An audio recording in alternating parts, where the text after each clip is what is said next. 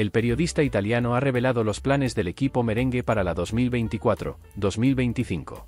El futuro del club blanco sigue estando en manos de Florentino Pérez, quien no descansa en su objetivo de potenciar cada verano la plantilla de Carlo Ancelotti, algo que no será diferente en este mercado de pases. Hola madridista.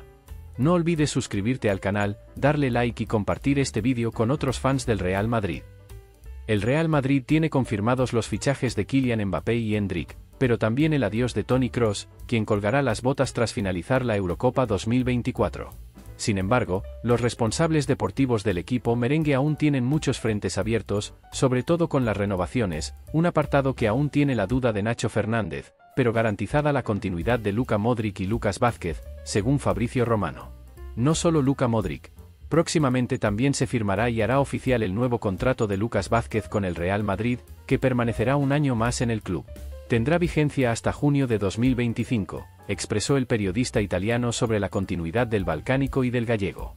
Con la continuidad garantizada de estos dos jugadores, Carlo Ancelotti se asegura seguir teniendo en su plantilla a personas de peso y experiencia dentro de la entidad madridista, quienes tendrán un rol importante en la 2024-2025, tanto dentro de los terrenos de juego, como fuera de ellos.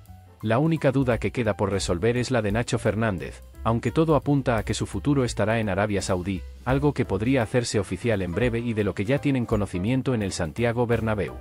Así que, querido espectador, espectadora, le insto nuevamente a suscribirse a nuestro canal, darle like a este vídeo y compartirlo con todos aquellos que anhelan conocer los entresijos del Real Madrid. Manténgase alerta a las últimas noticias de nuestro amado Real Madrid.